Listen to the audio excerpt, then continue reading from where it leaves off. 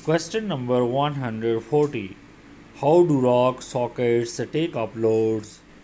The load transfer mechanism is summarized as follows When a socketed foundation is loaded, the resistance is provided by both rock socket wall and the socket base and the load distribution is a foundation of relative stiffness of foundation concrete and rock mass, socket geometry, socket roughness and strength.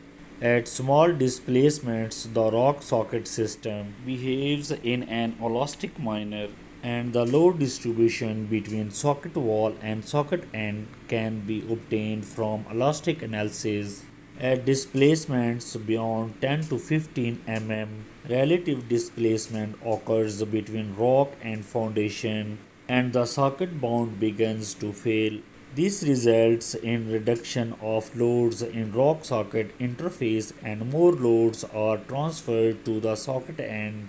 At further displacements, the interface strength drops to a residual value with total rupture of bond and more loads are then distributed to the socket end. Thanks for watching.